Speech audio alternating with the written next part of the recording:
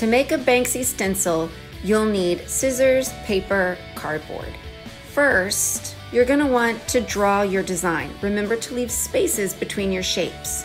Now, fold inside your shape, make a little snip so that then you can cut out your shape from the inside. Now you can put your cardboard down on paper or on a wall and you can use paint to paint inside your shape.